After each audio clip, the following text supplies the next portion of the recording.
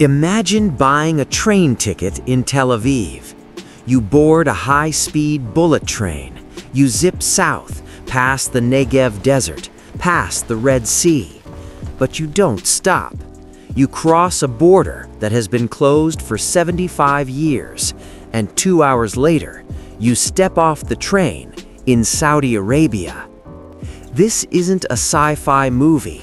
This is the One Israel Project a 100 billion shekel, $27 billion mega project approved by the Israeli government to build a high-speed rail line from the northern border of Lebanon to the southern tip of the Red Sea. But this isn't just about moving commuters. It is the most expensive diplomatic gamble in Middle Eastern history.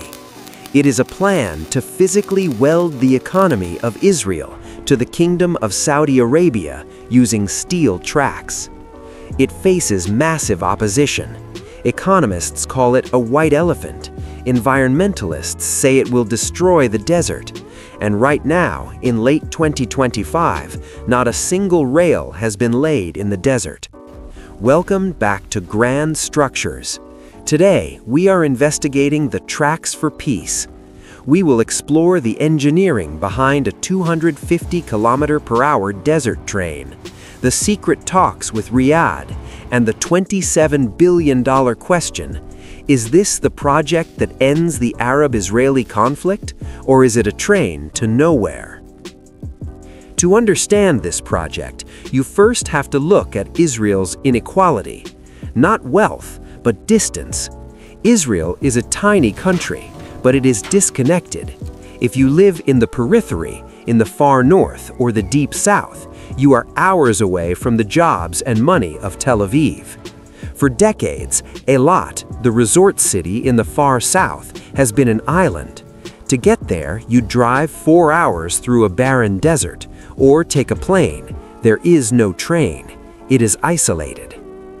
In July 2023, and reiterated through 2024 and 2025, the government unveiled the One Israel Plan, the promise to connect Kiryat Shmona in the north to Eilat in the south. The goal is a 250 km per hour bullet train. It would slash the travel time from Tel Aviv to Eilat to under two hours. It aims to abolish the concept of the periphery. It essentially turns the entire country into one single commuter suburb of Tel Aviv. The budget is staggering, 100 billion shekels, or roughly $27 billion. It is the largest single infrastructure investment in the country's history. But if you look at the economics, it makes no sense. Eilat only has 50,000 residents, you don't spend $27 billion for a small town. Unless Eilat isn't the final stop. This is where the engineering meets the geopolitics.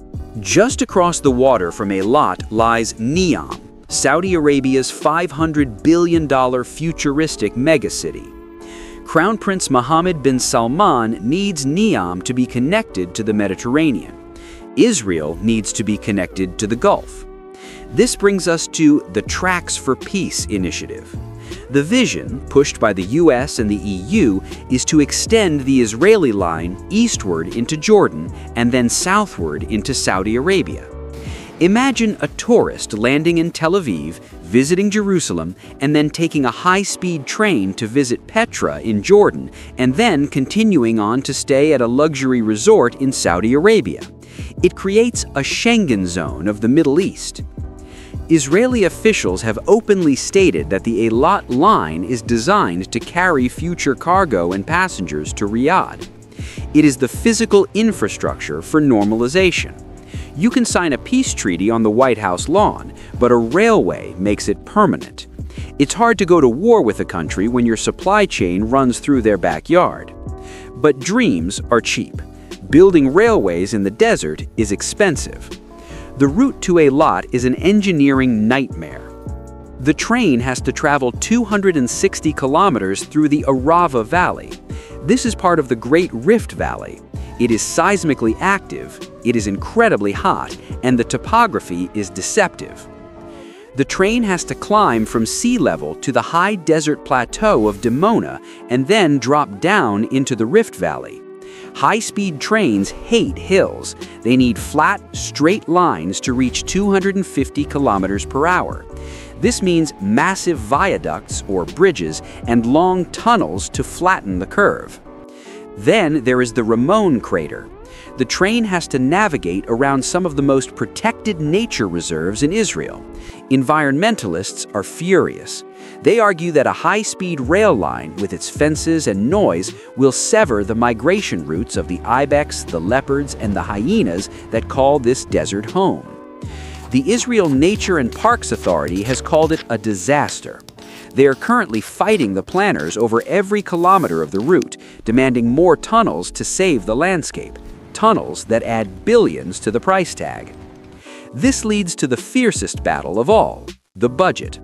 As of late 2025, the Ministry of Finance is in a cold war with the Ministry of Transport. The economists have done the math, and the math is ugly. They argue that a passenger line to Eilat will never make a profit. There simply aren't enough people. They call it a white elephant, a project that costs a fortune to build and maintain, but serves no one. The only way to make the money back is freight, carrying millions of containers from Eilat to the Mediterranean, the Red Med concept. But here's the catch. A high-speed passenger train and a heavy freight train are two different beasts. High-speed tracks require steep banking on curves, super elevation. Heavy freight trains need flat tracks. You can't easily run both on the same line at high efficiency. If you optimize for speed, passengers, you kill the freight capacity. If you optimize for freight, you kill the speed. The government is trying to design a dual-use line, but critics warn it will end up being mediocre at both, too slow to compete with planes and too expensive to compete with ships. So where is the train? If you go to the Negev today, you won't see tracks. You won't see tunnel boring machines. As of late 2025, the One Israel project is still largely a paper project. The budget has been approved in principle. The planning committees are drawing the lines. Some preliminary earthworks have begun near the center of the country. But the massive stretch to Eilat, it is frozen in the allocation phase. The money hasn't actually been transferred.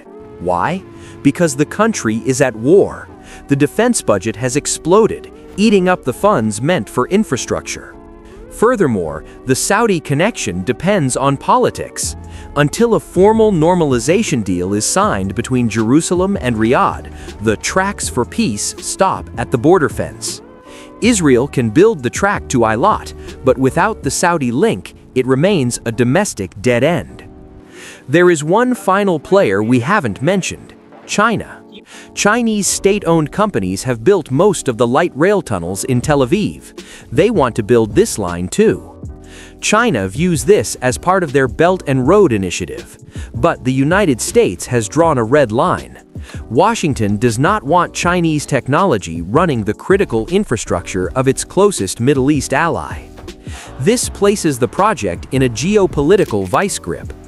Israel needs Chinese construction speed and cheap labor to make the $27 billion budget work, but it needs American political support to make the Saudi peace deal work.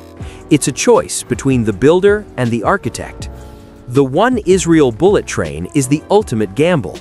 It is a bet that technology can conquer geography.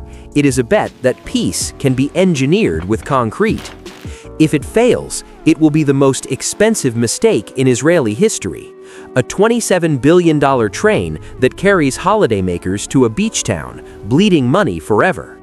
But if it succeeds, it changes everything.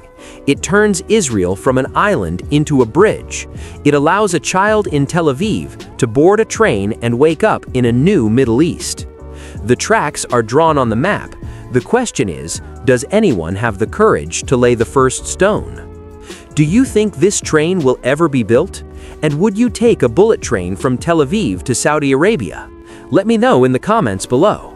And if you want to see the other side of Israel's infrastructure war, check out our deep dive on the IMEC trade corridor. It's the story of the ports that will feed this railway. Thanks for watching Grand Structures.